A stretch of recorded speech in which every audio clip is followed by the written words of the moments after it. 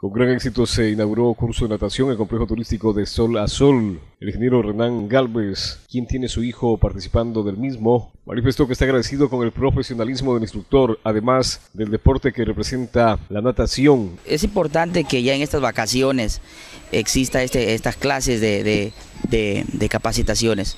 Los chicos, tanto en edades como de 6, 7, 8, 9 años, 12 años, es importante que aprendan el nado y diferentes tipos de técnicas que son importantes. A veces uno nunca se lo espera en un río o en una playa, ellos tengan la capacidad de poder desenvolverse dentro del agua.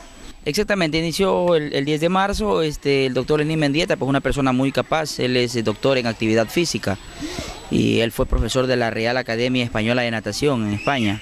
Entonces es una persona muy conocida, entonces eh, conoce mucho de técnicas de natación y yo, al menos como padre de familia, le tengo una entera confianza a los estilos y que, él, que él practica dentro de, este, de esta capacitación vacacional.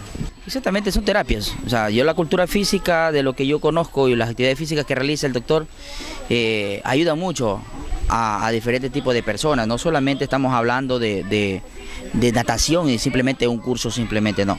Habla sobre discapacidades intelectuales, sobre natación de síndrome de Down, de lo que yo conozco, que él tiene mucha capacitación en eso. Y es importante pues que, que todo todo este tipo de actividades ayuden a mejorar la salud de un ser humano. Y que existe una alternativa, como es la natación terapéutica para los tres cantones, tanto para Guaquillas, Arenillas y Las Lajas. Usted ha escuchado en otros países del mundo la natación terapéutica es uno de los puntos principales para el, buen desenvolvimiento de personas con discapacidades, de diferentes tipos de discapacidades. Igualmente, como, como te dije anteriormente, síndrome de Down. sería importante que en el cantón Guaquillas, Arenillas, Las Lajas y los cantones aledaños pues vengan y participen de, este, de, esta, de esta capacitación que ojalá sea permanente. Yo ya veo que tiene dos años el doctor Lenín Mendieta acá y, ha dado muy buenos resultados. y me parece muy bien que la gente se entere de, de, tipo de capacitaciones que él realiza porque es importante que la gente eh, al menos con discapacidades o capacidades especiales, salgan a, a, un tipo de actividades donde, aparte de ser recreativa, les produzca un beneficio en su salud. Lenín Mendieta, instructor, manifestó que tiene 100 niños y los cupos de la mañana están cubiertos. Solo hay cupo para la tarde con la magno natación desde las 5 de la tarde a 6 de la tarde. Efectivamente, desde el día lunes empezamos el, el trabajo de agua aquí en el complejo de Sol a Sol. Gracias a Dios se ha cubierto las expectativas. Los cupos de la mañana los tenemos cubiertos todos. Ya no recibiremos inscripciones.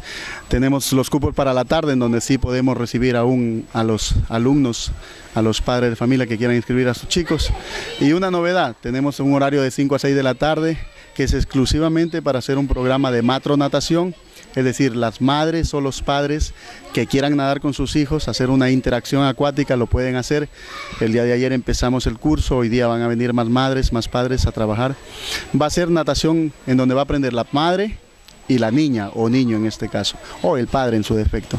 Así es que pues estamos, estamos muy contentos de que eh, por segundo año consecutivo la ciudadanía de Huaquillas y de Arenillas, es muy importante el sacrificio que hacen los padres de Arenillas, yo les les voy a devolver con, con el aprendizaje que van a tener sus hijos. Recalca la posibilidad de la natación terapéutica que se va a conversar con los directivos y esto es importante para aplicar con una escuela permanente en el sector.